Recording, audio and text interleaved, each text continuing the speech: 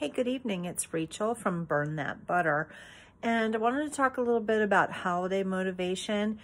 Uh, we just had Thanksgiving, Hanukkah is starting in just a, a, a day or two. And of course, Christmas is coming up as well. And what does this all mean? Well, people are bringing in all kinds of treats into the office.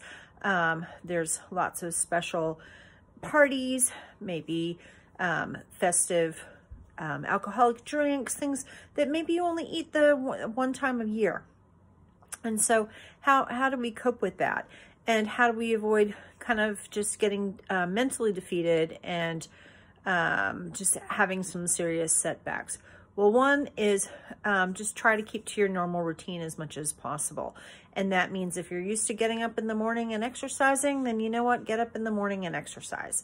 You can still go and do that um, party on the weekend, but you don't have to stay out all night long, you know? You can go and you can see your friends and you can um, do these festive things.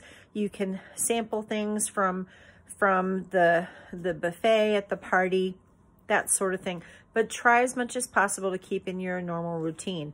I find that if I put on my workout clothes and I don't get out of my workout clothes until I actually work out, that is something that kind of motivates me, um, especially if it's the weekend and um, I, I, I've just got too much time, you know, on my hands. And then it's like, oh, no, I waited too long to exercise, so now I'm not going to do it. Nope. If I can't get out of these clothes until I go and actually do my workout. So that's one way that I, um, I, I try to keep myself going.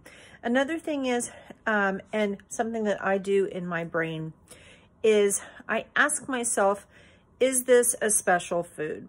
What, what do I mean by that? So let's say I go to a party and there's a bowl of M&Ms.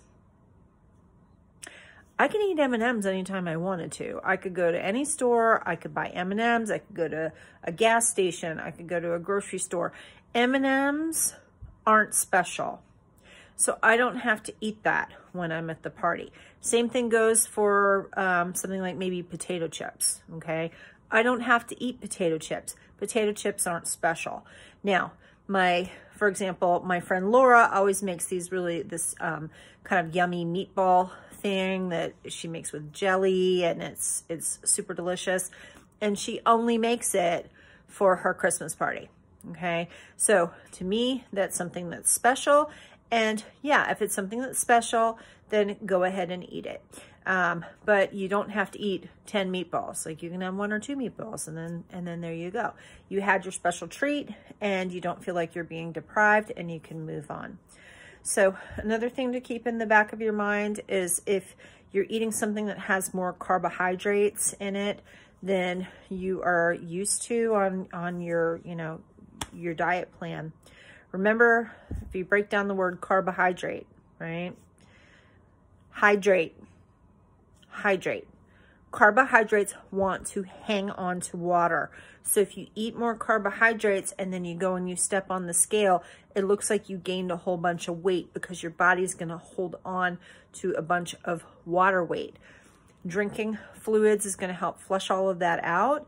And, um, but expect it right? It can be demoralizing if you step on the scale and like, oh my God, I, I, I gained two or three pounds, right? You, you really didn't. It's just water weight and you're going to get rid of it. So um, these are my little hip, my little tips, hips. These are my tips for, um, for kind of keeping with the program on, on the holidays. And um, on that note, pulling my going to go ahead and pull my hair back because I am going to go and do myself a workout.